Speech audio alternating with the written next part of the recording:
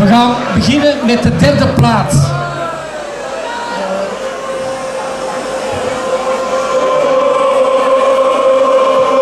En voor de derde plaats was het Jurgen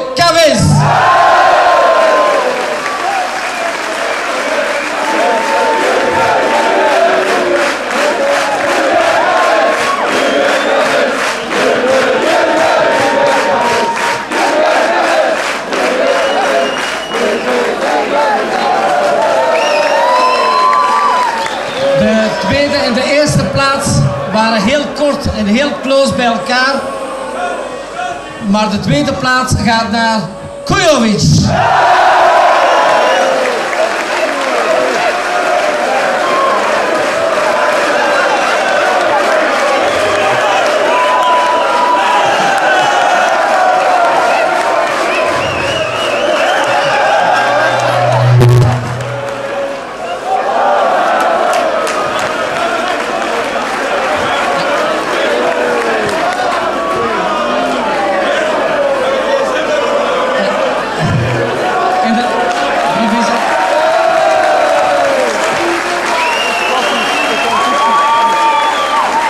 En dan de eerste plaats.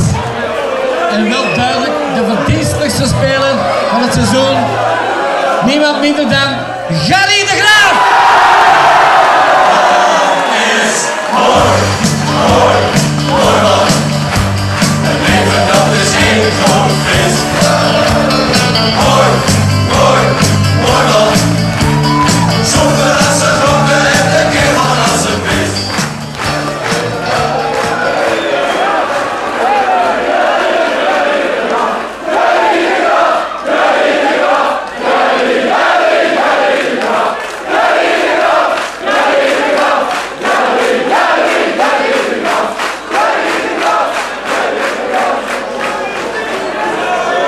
Mr.